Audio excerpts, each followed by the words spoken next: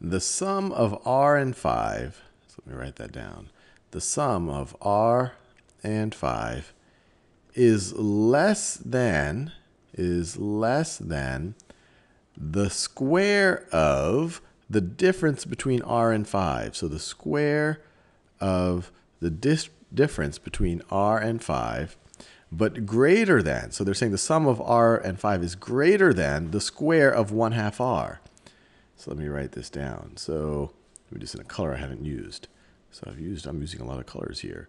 So, but greater than the square of 1 half r. So they're saying the sum of r plus 5 is going to be greater than the square of 1 half r. Or we could say that the square of 1 half r, or r over 2, is less than r plus 5.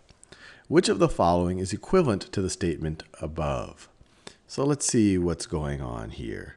So it looks like in all of these choices, they have actually taken this exponent. So let me rewrite this. This is the same thing as r squared over 4, which is the same thing, if I want to write it in this form, is the same thing as 1 fourth r squared, is less than r plus 5, which is less than r minus 5 squared.